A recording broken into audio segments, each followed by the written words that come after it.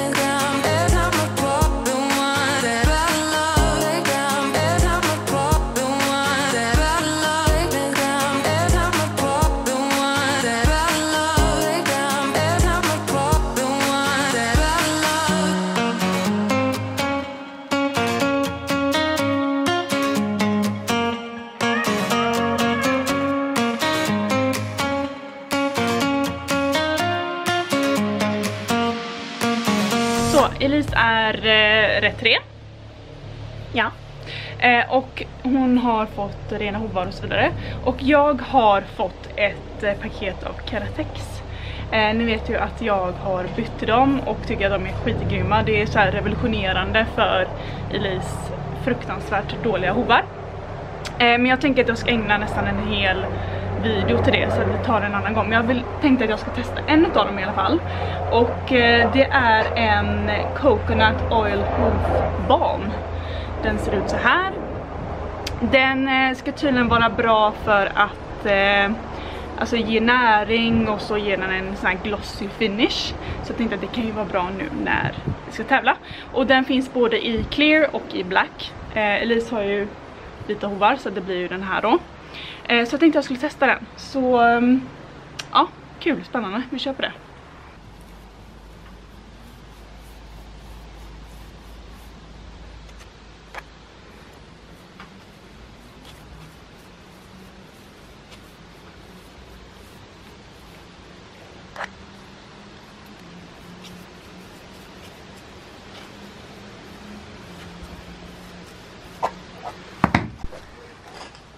Så, nu ska vi se om man kan se lite före efter. Den hoven som är till höger, eh, alltså den hoven, den där, har det här på sig nu.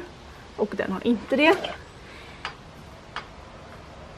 Det blev ändå rätt så glossy med tanke på hennes ljusa hovar. Så, ja, nice. Luktar jättegott. Luktar ju, eh, eh, ja, coconut såklart. Och den var väldigt lätt att stryka på, jättemjuk. Så, ja. Nice. Okej, okay, så Elise är klar. Så hon ska få gå in och äta lite nu. Jag har tvättat manen på henne. Använder faktiskt grönsåpa och den blev väldigt mjuk och fin. Jättehärligt. Eh, och sen tog jag yes diskmedel på det vita. Nu blir det extremt vitt. Eh, Och det gör jag när det är, alltså när jag inte har tvättat benen ordentligt på eh, några veckor. Ibland så när vi inte har tävling eller träning så brukar jag, hon håller sig ganska ren nu när det inte är ledigt. Eh, då tvättar jag inte benen för mycket utan då tvättar jag mest av hovarna i och med att jag måste ta hand om dem väldigt mycket. Ja. Så Jessie är perfekt sen när det är lite smutsigare. Men nu ska hon få gå in och äta lite och sen tänker jag väl att jag ska äta lite och byta om. Och sen är det egentligen bara att vänta på att vi ska åka.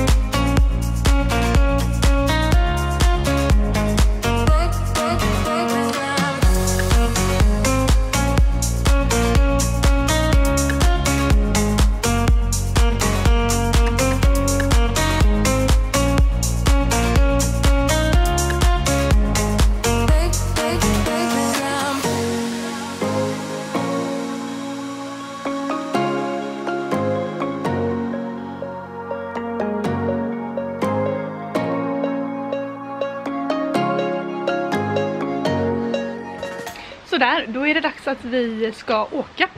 Klockan är snart tre på eftermiddagen. Och ja, det blir en kvällstävling idag. Det kommer dröja. Det är ganska långt dit vi ska åka. Så det kommer nog ta en, nästan två timmar att köra skulle jag säga. Men eh, ja, vi är taggade. Eller hur Lise? Så nu lastar vi och sen så åker vi så ses vi vid tävlingen sen. Okej, då är vi inne på banan. Det är en 1.10 med två faser. Eh, första hindret står snett igenom en väldigt snäll oxer. Eh, som gick väldigt bra. Inga konstigheter där. Sen är det en eh, högersväng till hinder nummer två.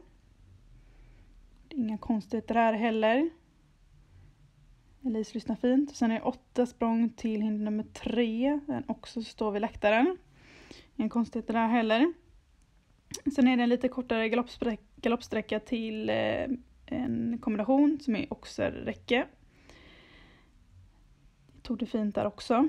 Eh, sen till hinder nummer fem så rider jag på lite mycket framåt. Vilket gör att vi blir lite obalanserade här emellan till hinder nummer sex. Så de åtta sprången är väl kanske inte de mest perfekta men tog det helt okej ändå. Elise löste det. Sen sjuan är eh, vattenmattan, det blåa hindret i mitten. Inga konstigheter där heller.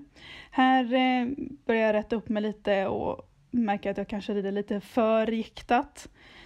Kommer dock lite nära men fortsätter galoppera och kommer bra på hinder nummer 9. Här börjar eh, omhoppningen, fas 2. Eh, och vi får ett litet missförstånd här, jag, jag och Elise. Och sen står det en funktionär lite i vägen så jag kan inte rida den vägen som planerat så jag får gå runt. Jag berättar lite mer om det sen. Um, men jag tycker ändå att Elise, alltså hon lyssnade bra och hon blev inte så förskräckt fastän den blev att vi nästan hoppade hinder fem åt fel håll. Ehm, sen är det kombinationen igen. Inga konstigheter, hon hoppade bra igen.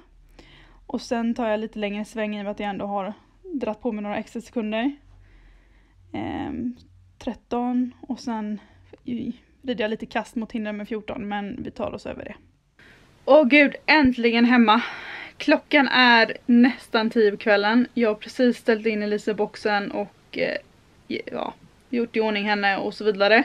Gett dem kvällsmat och nu ligger jag ute i gäststugan hemma hos mamma. Jag sover här. Jag tänkte att jag skulle eh, prata lite om rundan och tävlingsdagen nu på en gång medan jag ändå har det färskt. Um, och som sagt så red jag en 1.10 och det blev verkligen en kvällsrunda. Och om ni kommer ihåg att jag sa tidigare i vloggen att Elise var lite på dåligt humör i morse. Eh, eh, nej förlåt, igår. Nej, jo, hon var på dåligt humör lite grann igår när jag red och sen lite idag. Så troligtvis är det lite brunst och sen är det att hon håller på och får vinterpäls så att hon har varit lite smått irriterad när jag har ridit.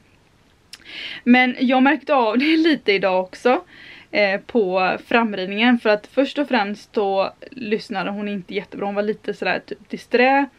Och sen inne på framhoppningen så råkade jag rida mot eh, oxen utan att riktigt ha kanske förberett ordentligt. Jag visade inte riktigt med min ridning att vi skulle hoppa så att hon var inte riktigt beredd och då sa hon typ totalt nej.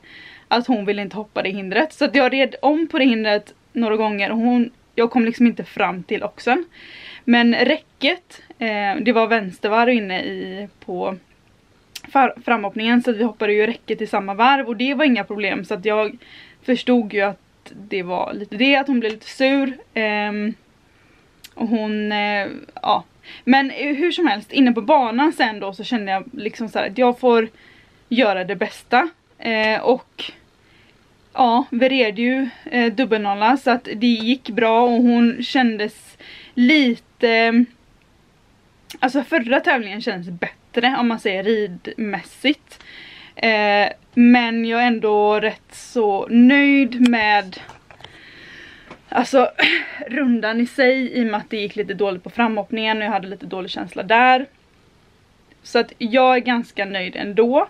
Tyvärr hamnade jag väl typ två stycken utanför placering. Eh, och som ni såg på filmen så hade jag lite problem i svängen i omhoppningen till 11. Om man tittar på filmen så precis där jag ska rida så står det en funktionär.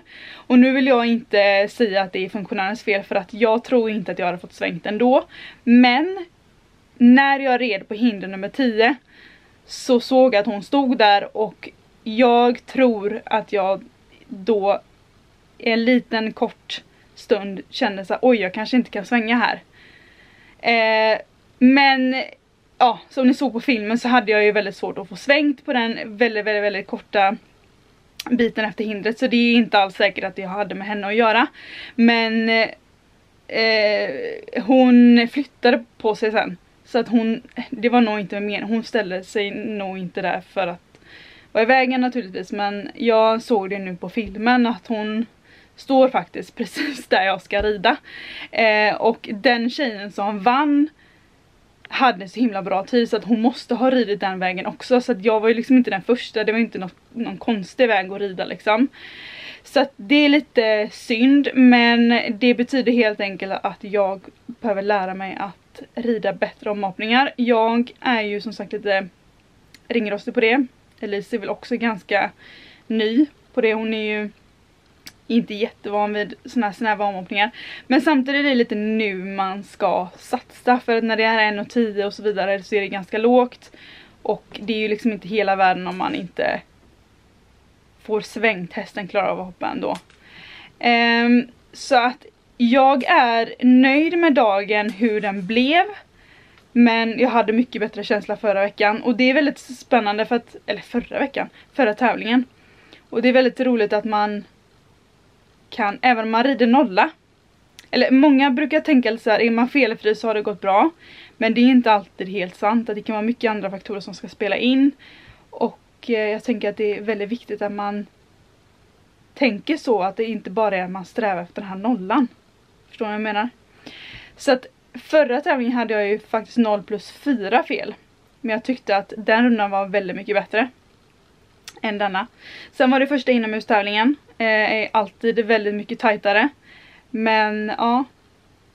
Äh, men jag, jag känner mig ganska färdig med 1,10 nu. Det känns som att jag och Lise ändå kan gå upp till 1,20. Eh, så att eh, ja, vi får väl se. Nästa tävling är dock inte 1,20 för jag tror inte att det fanns. Annars så tänker jag nog att jag ska försöka få till en i höst innan, eh, innan säsongen är slut. Så att ja. Eh, men eh, ja, det var allt för mig hörni. Eh, tack för att ni tittade.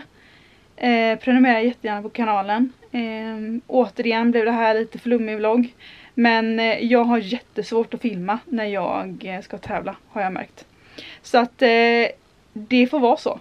Jag är väldigt eh, i ett annat läge i min hjärna när jag ska tävla så att jag eh, är inte så duktig på att filma då. Jag ser så himla stel ut, typ så här, som att jag liksom inte riktigt vet vad jag ska säga. Så att det får vara lite flummiga vloggar eh, på tävlingar men jag hoppas att ni tycker om dem ändå och att ni, ja, jag vet inte, att ni gillar dem. Men tack för att ni tittade, vi ses i nästa video, ha det superbra, hejdå!